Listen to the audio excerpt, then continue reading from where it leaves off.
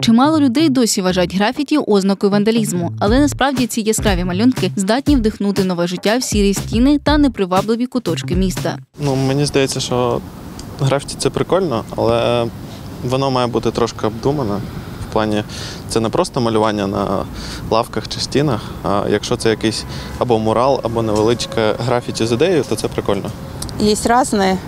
Есть сучасные, на которые приятно смотреть, а есть, конечно, вандализм. Ну, Мені здається, проблема графіті не проблема взагалі, тому що якщо б е, держава чи суспільство більш вміло домовлятися з такими митцями, у нас би місто тільки виграло, стало би ще красивіше. Стріт-арт став частиною міського пейзажу та способом самовираження для багатьох митців. Ось кілька цікавих прикладів, як графіті змінюють вигляд Дніпра.